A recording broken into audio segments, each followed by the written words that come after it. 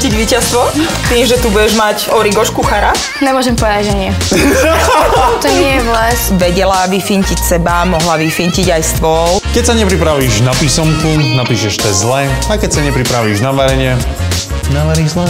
Talianský guláš z toho veru bol. Bez servítky. Dnes o 17.50 na Jojke.